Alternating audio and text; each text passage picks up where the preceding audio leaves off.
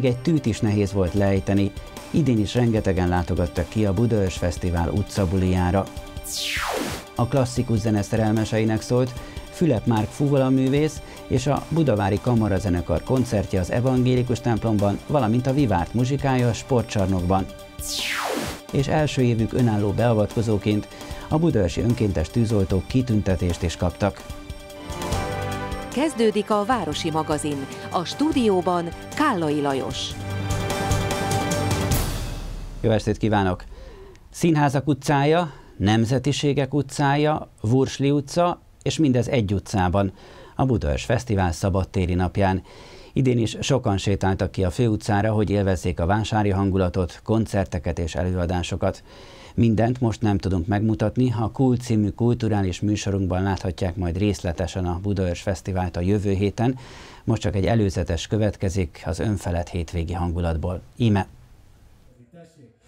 A Dávid a biciklin mindig teper, kedvenc gyümölcse az alma. Persze, jó. Tepertő. Micsoda?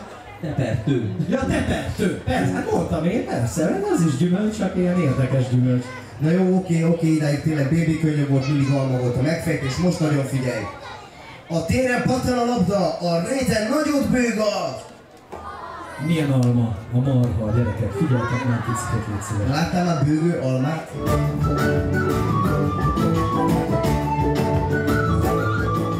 Az Alma Együttes produkciójával indult a Budaörs Fesztivál szombati szabadtéri napja.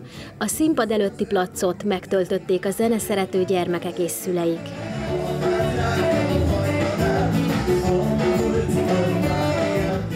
A gyerekprodukciók általában abból a szempontból hálásak, hogy a mondani valójuk is a gyerekekhez szól. Tehát az, az, az nem is kérdés, hogy, hogy zeneileg kompromisszumot nem lehet kötni. Tehát gyerekeknek ugyanúgy kell dalt írni, hangszerelni, játszani a hangszereken, ahogy a felnőtteknek játszanánk. És hogyha belehallgatsz bármelyik, bármelyik albumba, akkor nagyon jó érzékel van egy kis bluesos hang, hangzás, egy kis rockos, egy most ugye az új hip-hoposabb, tehát ez is egy jó, mert mai gyerek, az én gyerekkoromban még nem volt annyira a hip-hop, viszont most már olyan szinten jelen van, hogy, hogy ez a, a bűvös mesetorna kiadványunkon szereplő bemelegítő dal, ami a koncerten is elhangzott, az is ez a jó kis hip-hopos, és látom, hogy a gyerekek ugyanúgy baseball megfordítja, és az apuka is. Forró helyzet,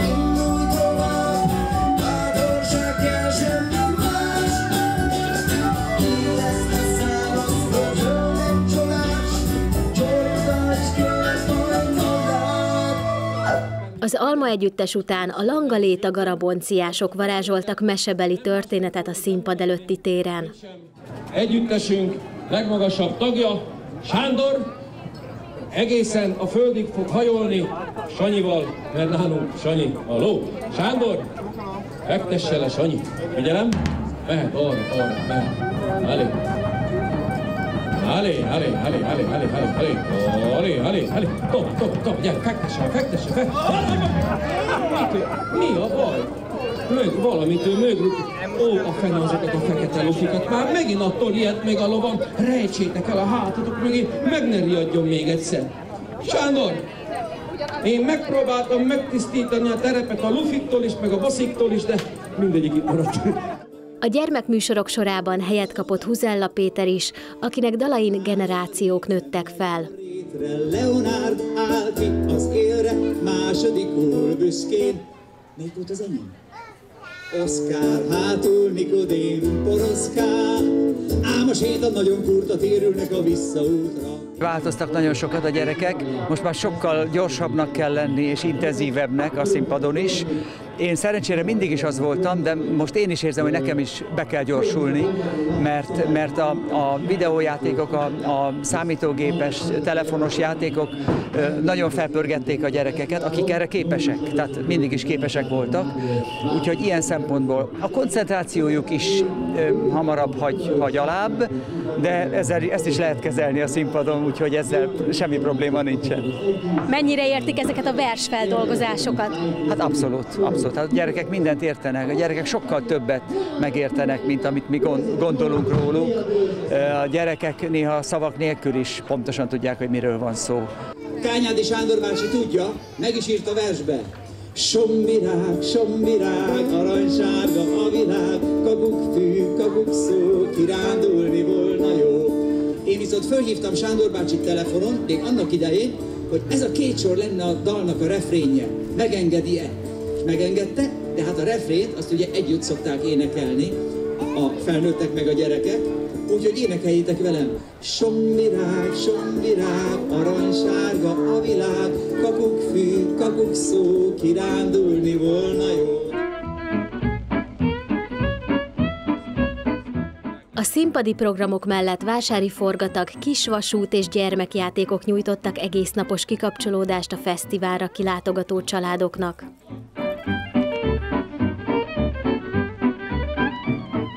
Szerintem itt szemszájnak ingere mindenki mindent megkaphat. Mi most éppen a Vursli utca közepén állunk, utána kezdődik a Színházak utcája. Ezt az egész középső vonulatot elneveztük Kult utcának, mert a kultúra dömpinget szórunk most Budőrs lakosságára, meg az ide látogatóknak. Éppen mellettünk van Paprika Jancsi csúzizdája, a Tintaló Társulatnak mini cirkusz, a felhővadászatot, Vitéz László bábautomatájától kezdve gyakorlatilag olyan sok ilyen régi időket idéző játékot hoztunk ide, aminek külön most már a Bursli utca elnevezést adtuk. Egy kicsit le kell takarítani.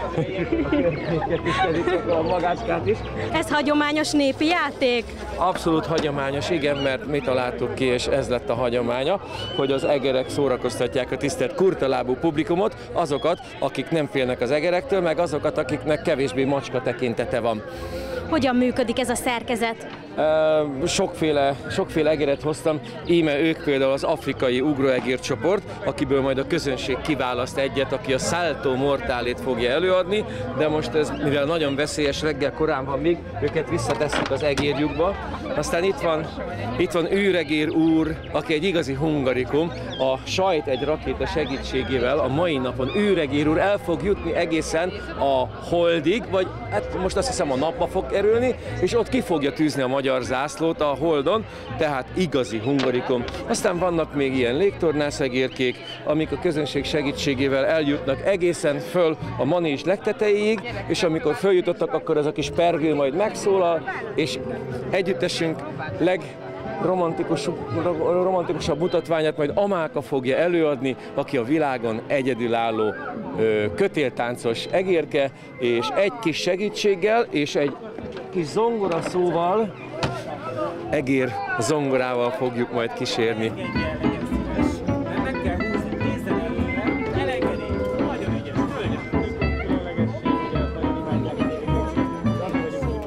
Paprika Öncsi csúzlizdája valójában egy diótörő állomás, ugyanis karácsonyra a beiglikhez nem tudtuk másképp megoldani, csak ilyen titkos, fondorlatos módon, hogy hogyan is törjük meg a diókat. Úgyhogy a gyerekeket arra kérjük, hogy fogjanak a kezükbe csúzlit, és a bent látható mozgó bábokra próbálja meg lőni. Aztán, hogyha ez mellé megy, akkor összetörik néha a dió is, de se baj, ezt felhasználjuk majd karácsonykor. Addig, ha pedig valaki mégis mellé találna, akkor őt arra kérjük, hogy legyen szíves, tekerje meg ezt a biciklit, amit most nem látnak. Ez itt a meghajtó művünk, ugyanis nekünk nincs villanymotorunk. A színpadi programsorozatot a középkori muzsikát játszó Holló Ének Hungarika zenekar folytatta.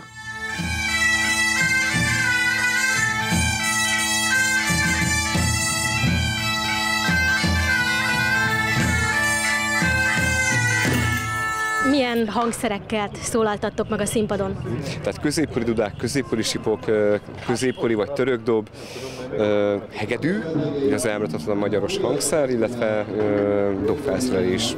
Mennyire játszik autentikus középkori zenét a hollóének hungarika, és mennyire a saját kreációtok ez, ami a színpadon zajlik? Egy kicsi ez, egy kicsi az. Tehát ugye mi is egy középkori autentikus zenekart hoztunk létre annak idején, és ugye rengeteg középkori fesztivál megfordultunk, ahol ugye menetzenébe kellett ugye játszani, vagy csak egy ilyen kis vásári performance-t kellett szolgáltatni, és ugye egyre több olyan felkérés érkezett, messzínpados koncertet is ugye kértek tőlünk, és valahogy úgy próbáltuk megoldani a dolgokat, hogy azért a dobszerelés azért már nagyon kell, nagyon jól viszi a hangulatot, és hát középkori világzene.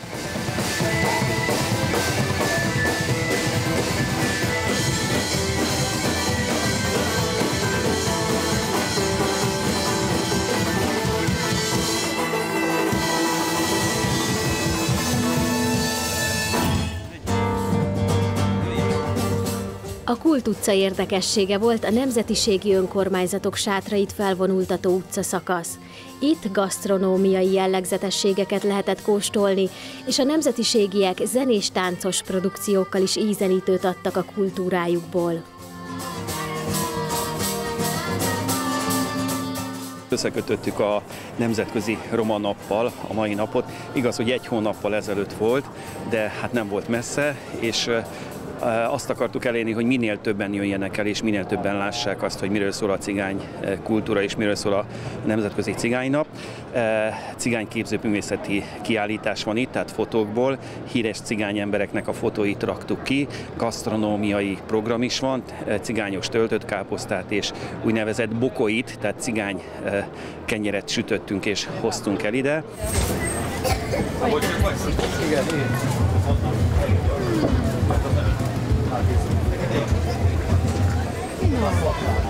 Tehát ez itt a cigányos töltött káposzta, mindenféle húsok vannak, sült hús, ö, ö, füstölt hús van benne, rengeteg káposzta, csirkehús van benne, és mindenféle finom fűszerekkel van elkészítve, és majd jönnek a vendégek, és vendégül látjuk őket természetesen. És ott pedig fellógatva látunk néhány népviseletet. Ezekről mit kell tudni? Ezekről azt kell tudni, hogy ez a románi design, ez Európa egyetlen divat stúdiójának, cigány divat stúdiójának a, a ruha költeményei, és ők ezeket kölcsönadták nekünk, és ezeket most kiraktuk, és meg lehet őket nézni, vagy ha akarja, valaki fel is próbálhatja természetesen.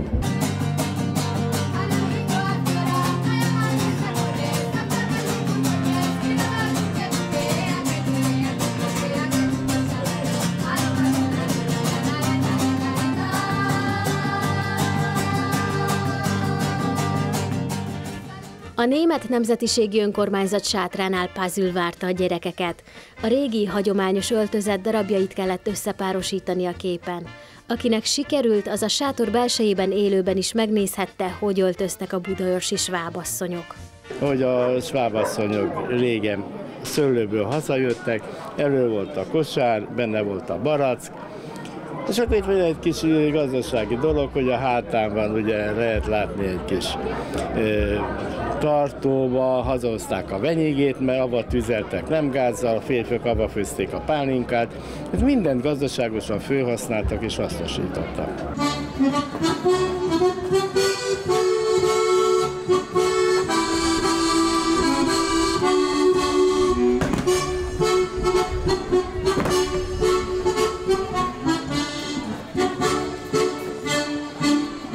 Késő délutántól könnyű zenei koncertsorozat csalogatta a nagy színpad elé a fiatalokat. Az első fellépő a Mary Pop Kids nevű zenekar volt.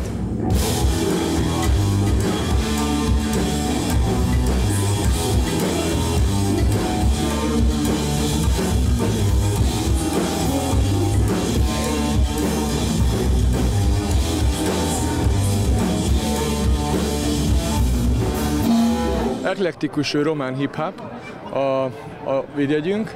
Azt gondoljuk, hogy talán emiatt is vagyunk ott, ahol vagyunk. És hol vagytok? A Wembley-ben. Itt vagyunk a Wembley-ben, jó. Telthátos koncert után, jó. Most ez ilyen trend, hogy a, hogy a popbandák angolul írják a szövegeiket és angolul énekelnek. Miért fontos ez? Mert csehül hülye hangzana. Igen, igen. Meg egyébként azok a zenék, amik inspiráltak minket régen, meg amiket hallottat, ilyen zenéket szocializálódtunk tipikusan. És könnyebb így érvényesülni is? Magyarországon nem. Akkor a külföldi érvényesülés a cél? Pontosan. Igen.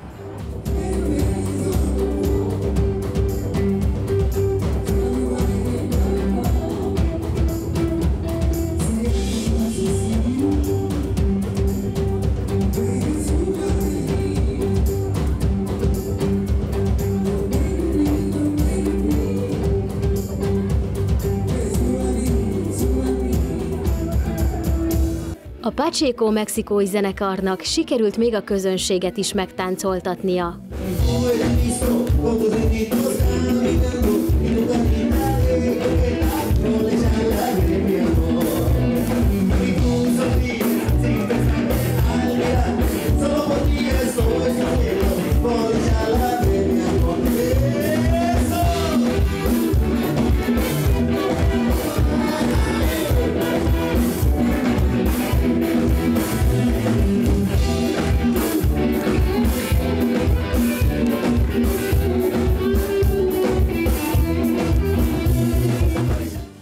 2014-es Eurovíziós dalválogatóban feltűnt Honey Beast zenekar hatalmas tömeget vonzott a nagy színpad elé.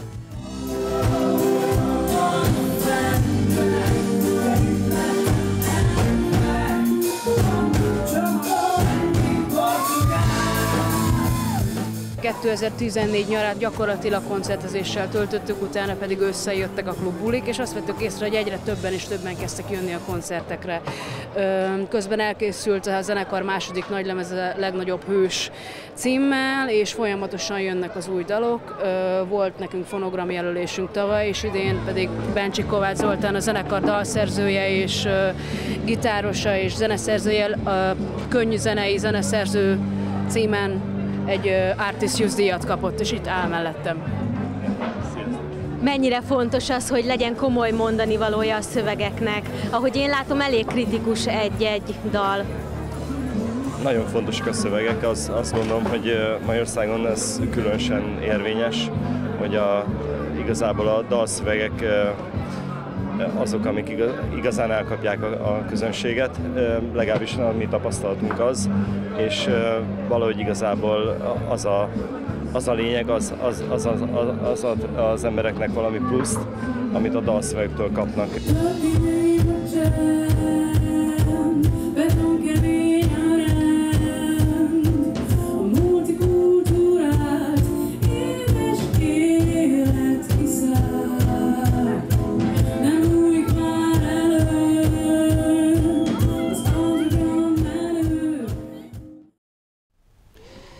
Még egy kicsit a Budaörs Fesztiválnál maradva, vasárnap este már a komoly zenéje volt a főszerep.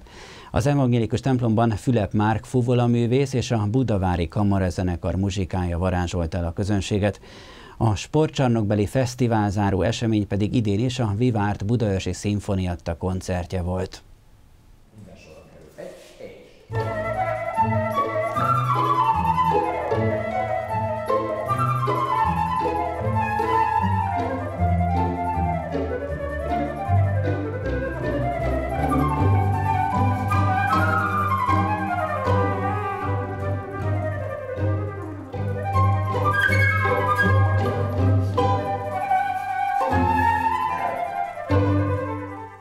Fülep Márk fuvola művész és a Budavári Kamarazenekar Paganini eredetileg hegedűre írt Motto Perpetuo darabját, saját hangszerelésben ismétli át még egyszer a hangverseny kezdete előtt.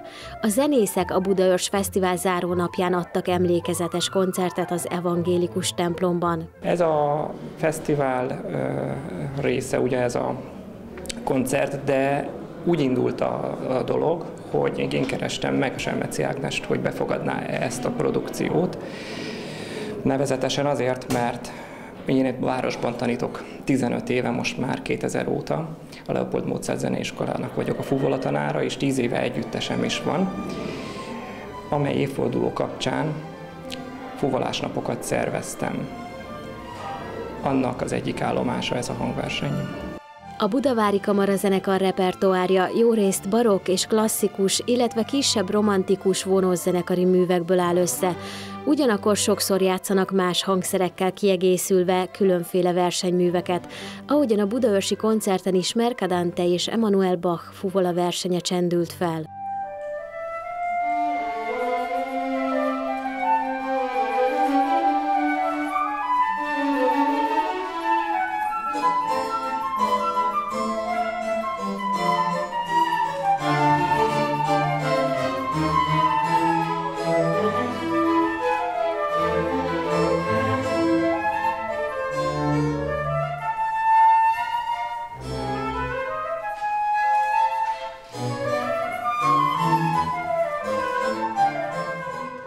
Koncerthelyszínnek számít ez az evangélikus templom? Nagyon jónak számít, nagyon szép. Egyrészt nagyon szép ahhoz képest, hogy ugye modern, általában modern épületek mindig megosztják az embereket, de szerintem ez nagyon szép, és olyan hagyományőrző is, és hát nagyon jó az akusztikája, tehát zenei szempontból abszolút, talán kicsit a hely ugye az nem olyan nagy, de mi ugye egy kamarazenekar vagyunk, tehát azért elférünk. Kicsit most megváltoztattuk a szólamoknak a helyét, hogy, hogy jobban elférünk a csellóknak például ugye azoknak nagyobb hely kell, de, de nagyon szép, úgyhogy remélem, hogy megtölti a közönség.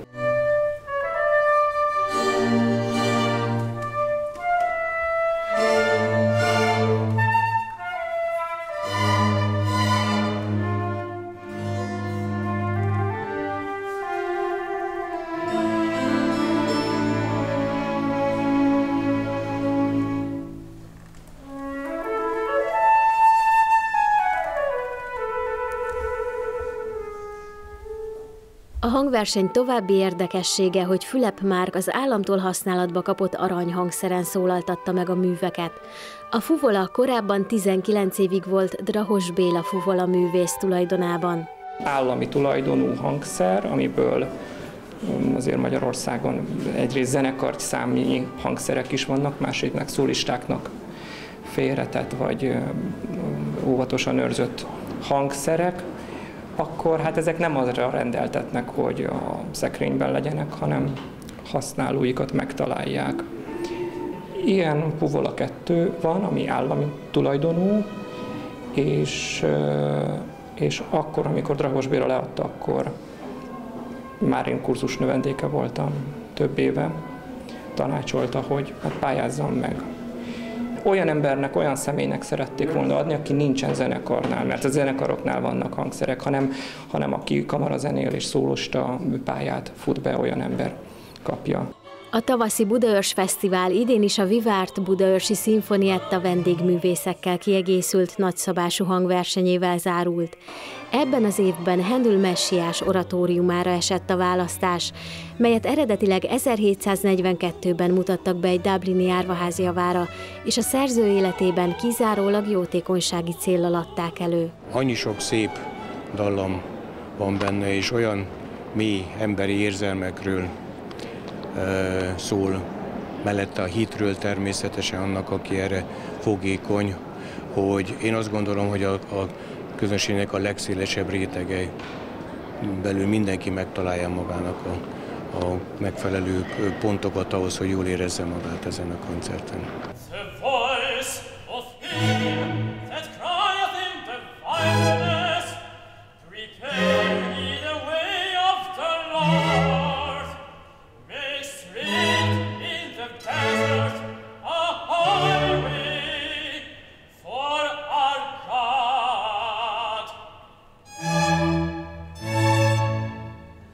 Először 1742-ben mutatták be ezt a darabot, a mai közönség számára is könnyen fogyasztható, vagy szükség volt arra, hogy megújítsák?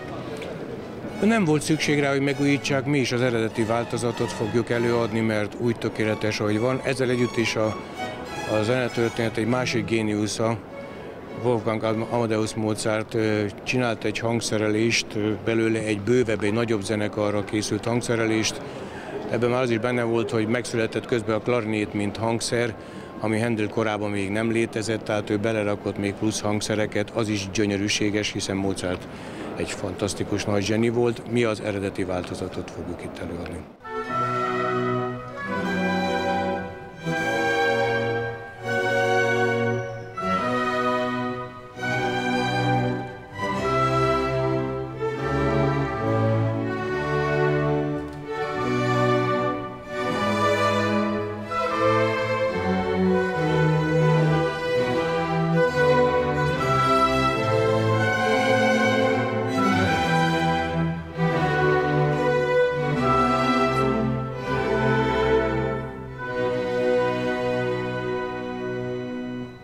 Annyira nagyszabású, hogy mi a teljes művet nem is fogjuk ma este előadni, mert három részes és körülbelül két és fél óra tiszta zene.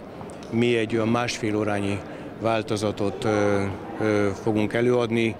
Olyan húzásokat ö, végeztem, amelyek miatt azt hiszem, hogy nem csorbul a darabnak a zeneisége, hiszen története nincsen, inkább filozófikus szövegek vannak bibliai idézetekből. A mű hasonlóan az előadó apparátus is hatalmas volt. A Vivárt Budaörsi Szimfonietta mellett négy szólista és négy kórus vett részt a hangversenyen.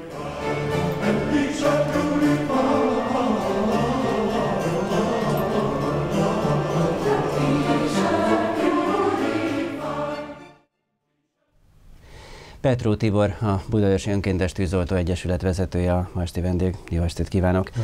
Azért hívtuk, mert hogy megtartották beszámolójukat az önkormányzat előtt a tavalyi tevékenységükről, és rögtön hozott is magával valamit, egy üveglapot. Mi ez az üveglap?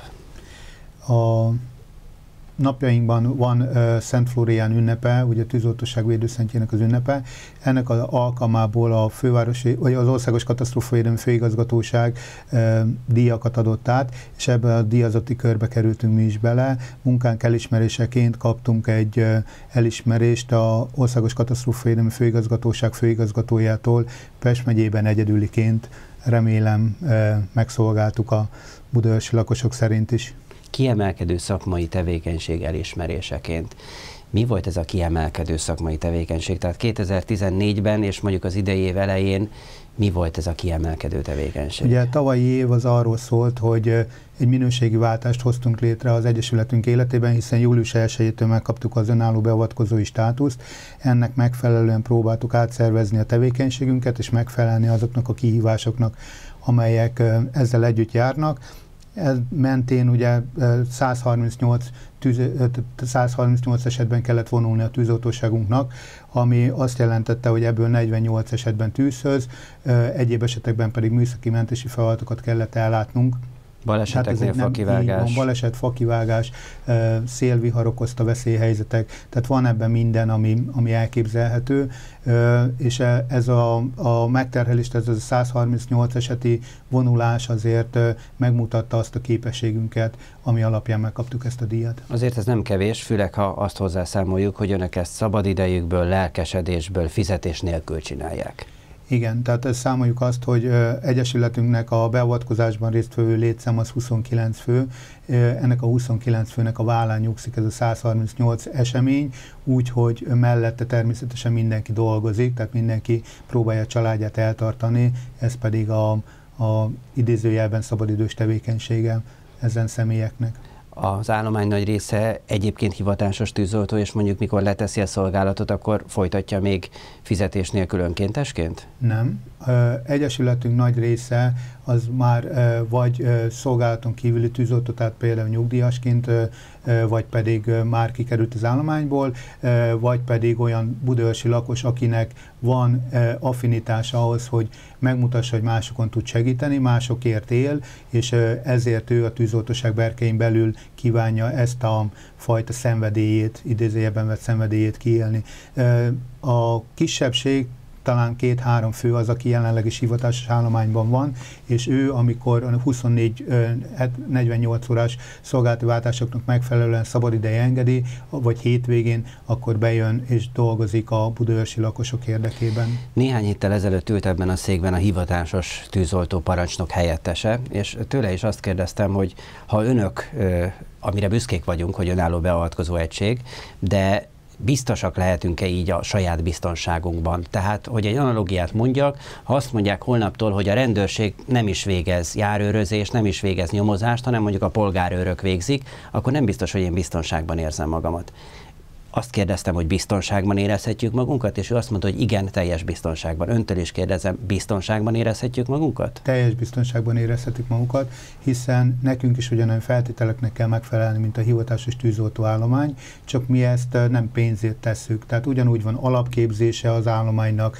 ugyanúgy van szakképzése, ugyanúgy gyakorol, gyakorlásokat hajtunk végre, tehát ugyanazokat a szituációs gyakorlatokat végrehajtjuk, ráadásul közös gyakorlatokat is szervezünk a tűzoltóság, tehát a hivatási tűzoltóság állományával. Ha valaki egy gépet vesz a kezébe, akkor annak megfelelő végzettsége van, amit megint csak az állam kontrollál, tehát hozzánk hetente, havonta jön ki a hivatásos tűzoltóállomány ellenőrző csoportja, megnézi a felkészültségünket, megnézi az eszközeink karbantartottságát, megnézi azt, hogy megfelelünk-e a szabványoknak, megfelelünk-e azoknak a szakmai követelményeknek, ami előírt, és az előírások azok nem különböznek a, a hivatási tűzoltóságnál és a beavatkozó állománynál sem, tehát a beavatkozó egyesületeknél sem. Ugyanazokat a feltételeket kell tudnunk nekünk is, annyiban egyszerűbb a helyzete az államnak, hogy ide nem kell fizetést osztani a, a szakembereknek, hanem ezt uh, mi saját magunk kell, hogy megoldjunk szabadidő tevékenységünk terhére, ezért mi semmilyen fajta ellátást, vagy semmilyen fajta állami pénzt, mint fizetést nem kapunk. És miért csinálják ezt? Ez egy jó buli? Mehetnének pecázni is mondjuk. Hát aki pecázni szeret, az valóban pecázni fog elmenni. Vannak olyan emberek, akik a nyugalmat szeretik, vannak akik az izgalmat szeretik. Ha valaki úgy érzi, itt Budaörs lakossága, lakosai közül, hogy ő szeretne egy kis izgalmat az életébe, és nem a, a pecázás vonzda, nagyon szívesen látjuk sorainkban. Ezt az állományt, ezt a 29 fős beavatkozó állományt mindenképpen szeretnénk tovább fejleszteni. Tavalyi évben volt lehetőségünk kimenni Németországba, Ausztriába testvércsapatokhoz látogatásra, és ott bizony egy hasonló méretű városban két-háromszáz fős önkéntes állománya találkozunk. Ehhez képest nekünk viszonylag nagy a lemaradásunk, ezt mindenképpen szeretnénk fejleszteni és hogyha valaki úgy érzi, hogy szeretne az állományunkba tartozni, tehát 18 év fölötti lakos az már automatikus, tehát nem automatikusan, hanem képzések után bekerülhet az állományunkba, a fiatalabb állománynak pedig csinálunk egy előképzést, és amikor betöltötte a 18. életévét, akkor önálló beavatkozóként is részt vehet a munkánkban. Tehát, hogyha valaki középiskolás, és úgy gondolja, hogy szeretne tovább menni majd akár hivatásos állományba is, és egy ilyen belépőt szeretne magának, amivel meg tudja mutatni, vagy ki tudja egyáltalán próbálni azt, hogy tetszik-e neki ez a tevékenység, várjuk nagyon szívesen sorainkban, és ahogy elérte a, a főiskolai kort, tehát a 18 éves kort betöltötte, onnantól kezdve önálló beavatkozó elemként, tehát ugye az egységnek az elemeként ő már viheti a, a munkát, csinálhatja azokat a tevékenységeket, amit az öreg rutinos tagjaink már végeznek. Meséljen egy-két izgalmat, mi volt a tavalyi évben, vagy az idei év első részében? Hát ugye, mint a, a ahogy a számok is mutatják, sok, viszonylag sok tűzesetünk van, nagyon sok műszaki mentési feladatunk van, emellett természetesen a bemutatókhoz, a, a különböző arculati megmutatáshoz megint csak hozzájárunk, tehát például az Idesüs vagy a Budapest Fesztiválon részt veszünk, akkor különböző felkéréseknek meg eleget teszünk, tehát iskolába, óvodába kimegyünk bemutatózni. Emellett ugye a tűzeseti beavatkozás például a Petőfi Sándor utcában volt tavaly, ugye, a, amikor leégett egy, egy kétszintes családi háznak a tetőszerkezete, ott ugyanúgy helyt kell állni. Tehát széles az a spektrum, ahol az ember megmutathatja saját képességeit, aki a veszélyhelyzetben is szeretne munkát végezni, annak is lehetősége van, hiszen akár például ennél a nagy tüzesetnél is, mint beavatkozó állomány részt vehet, akár műszaki mentésnél, tehát hogyha fát szeretne vágni, vagy viharkát szeretne felszámolni, vagy gépkocsi tüzesetnél szeretné részt venni, vagy esetleg balesetnél, például Szabadságúton többször is volt már balesetünk, ahova vonulni kellett, és ott műszaki mentési feladatot kell végrehajtani vagy hogyha ő ezt nem szeretné vállalni, hanem inkább csak azt szeretné vállalni, hogy, hogy elmegy a gyerekekkel foglalkozni, elmegy egy például az IKA előtt szokott lenni minden évben egy vagy két alkalommal közbiztonsági nap, ahol szeretné a, a családokat egy kicsit megmozgatni, megmutatni neki, hogy, hogy mire is vagyunk képesek, ott is bemutathatja magát. Tehát széles spektrum az, ahol vállalhat munkát, és mivel önkéntes tevékenységről van szó, mi azt respektáljuk, hogy ő azt mondja, hogy azt nem, de abban még szívesen részt veszek. Tehát Tudom, hogy nagyon buta kérdés, de azért meséljen valamit. Mire emlékszik vissza 2014-ből, vagy vagy az idejéből. Tudom, ha tőlem megkérdezik, hogy na akkor mi volt a legemlékezetesebb riport a tavalyi évben, akkor biztos elgondolkodom. De azért én megkérdezem, mi volt a legemlékezetesebb a tavalyi évben? Az én szívemhez leginkább azok a, a lakosság felé nyitó feladatok a, a inkább fontosak, amivel megmutathatjuk azt, hogy, hogy mire vagyunk képesek. Természetesen a, a, a, a tűzesetek, például megint csak ugye ez a Petőfi Sándor utcai tűzeset, tényleg ez Ott volt a legnagyobb. már, hogy mi történt egyébként ennyi idő hát után? Hát ugye azt tűzvizsgáló csinálja, és a tűzvizsgálat az hivatásos állományé. De erről nem is értesülnek? Mi értesülünk róla, de a, a tulajdonosnak a hozzájárulása nélkül ugye Világos. ez az információ nem kiadható, ezért erről nem szívesen nyilatkozunk nyilatkoznék, a tulajdonos hozzájárulok után nagyon szívesen. De az például egy, egy kimondottan olyan beavatkozás volt, ami egy 12 órás hosszú beavatkozás. Tehát eloltjuk a tüzet, lefeketítjük, utána megvárjuk azt, hogy esetleg ott valamilyen hőterhelés hatására újraindul a tűz, tehát ez mindenképpen fontos. Vagy fent a Frankhegyen nagyon sokszor kell úgy vonulnunk, hogy a hivatásos állomány, akinek nincsen helyismerete, egy fél óra múlva, vagy három óra múlva ér oda azokon a szűk utcákon, amelyik nekünk ugye rutinszerű, hiszen nekünk ismernünk kell azokat az apró utcákat, ahol föl lehet jutni, és gyorsan föl lehet jutni a Frankhegynek a tetejére, és akár például Őzika utcában volt most ilyen jellegű problémánk, vagy a Berkeny utcában, vagy a Fátyol utcában, tehát ugye ez mind fönt van a Frankhegyen, ott viszonylag sűrűn fordulnak elő ilyen tűzesetek, ahol a hétvégi házakkal, házak kerülnek problémás helyzetbe. Tehát tényleg széles spektrumon működik a, a rendszer, de ugyanígy egy közúti baleset is okoz nagyon komoly traumát, hiszen ott sérültet kell ellátni, ott van olyan személy, ugye, aki, aki nagyon hangosan tud fájdalmat mutatni, vagy van eszméletét vesztett ember. Tehát megint csak ugye fontos az, hogy az ember hogyan nyúl hozzá a, a baj, bajban lévő társához, milyen tevékenységet végez. Egyik kollégánk az például mentőszolgálatnál végezte, vagy most már ketten mentőszolgálatnál végeznek tevékenységet, és mellette tűzoltó, tűzoltóságos munkát végeznek. Tehát próbáljuk azt a spektrumot fölfogni, ami az életmentésével és az anyagi károknak a lehető legkisebb mértékűre való ö, visszaszorításával ö, tevéke, vagy foglalkozik igazából. Mi a helyzet a laktanyájukkal? Ugye amikor a ö, templom mellől ki kellett költözni a korábbi tűzoltó szertárból, akkor az önkormányzat ö, épített egy tűzoltó laktanyát az önkénteseknek. Ennek már talán tíz éve, vagy több is, mint tíz éve, de azóta is napirenden van, hogy ezt bővíteni kellene. Mi a helyzet ezzel? A az események azok valóban 2004-re datálódnak. 2004-ben kaptunk egy olyan épületet, amelyik tűzoltó laktanya átalakítási folyamaton esett át. Ez két ütemről osztotta annak idén az önkormányzat. Ennek az első ütem az elkészült, oda tudnak beállni a szerek, és a, a, a híradó helyiség készült el. A második ütemben került betervezésre a közösségi tereknek a kialakítása, akár oktatási helység, akár öltözők, vizes blokkok, konyhahelyiség és minden egyéb, ami szükséges ahhoz, hogy ott kultúrátan elhelyezhető legyen az állomány.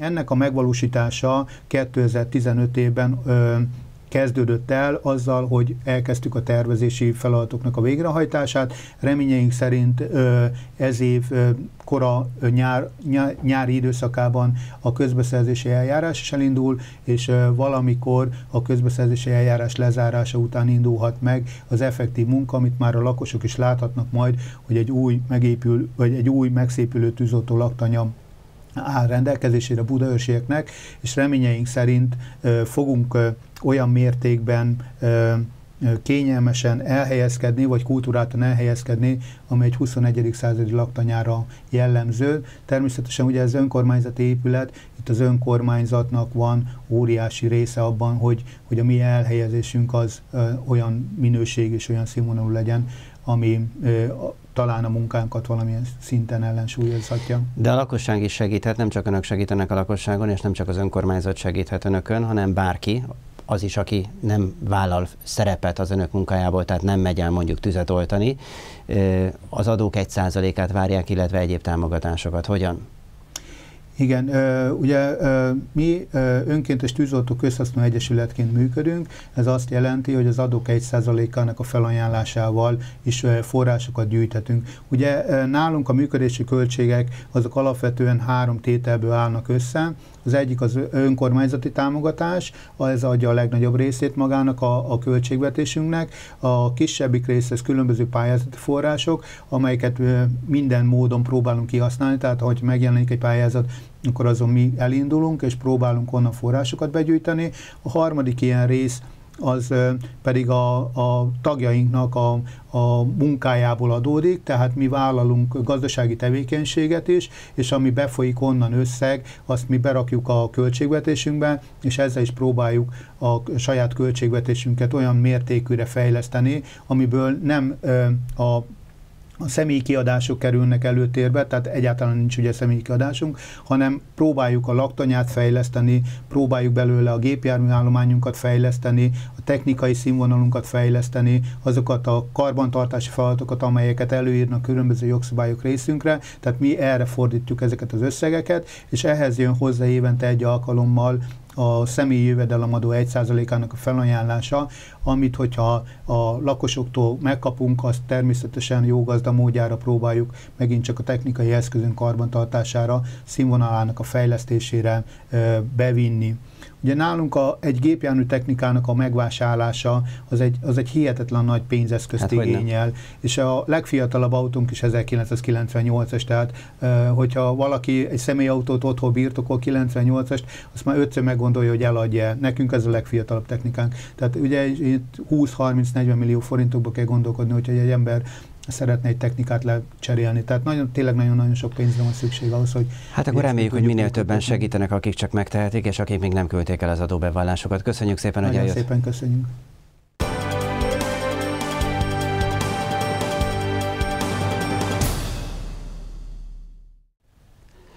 A Városi magazin után azonnal kezdődik a Budaörs Újbuda férfi bajnoki labdarúgó mérkőzés, de még előtte nézzék meg, hogy a következő pár napban mi a szabadidős programkínálat Budaörsen.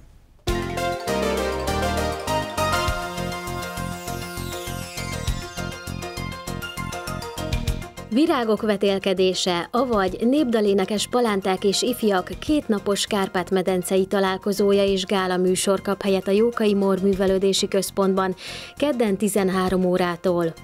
Gazdálkodj okosan az időddel címmel tart interaktív előadást Sótér Andrea, szociális készségfejlesztő tréner a Művelődési Központban szerdán 15 órakor.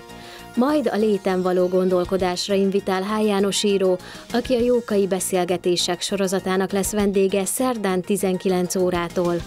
És végül, de nem utolsó sorban, dr. Bálint György, vagy ahogy mindenki ismeri, Bálint gazda lesz a vendége a Kamara Erdei Közösségi Háznak szerdán 18 órától. A rendezvényeken a részvétel ingyenes.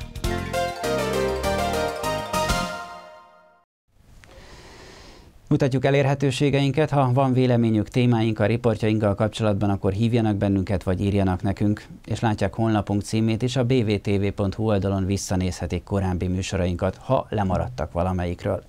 Holnap kedd, 18 órakor dobogó, utána pedig múlt hét. Tartsanak velünk akkor is. Most pedig kezdődik a sportközvetítés. Viszontlátásra!